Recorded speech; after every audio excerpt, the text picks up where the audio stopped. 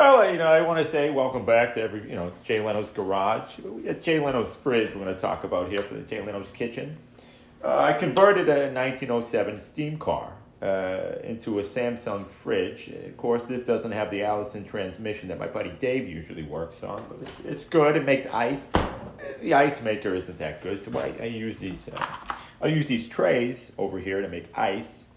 They look like uh, well, they look like pink testicles. They're good. It gets the job done. and It's fine. And, you know, we make ice.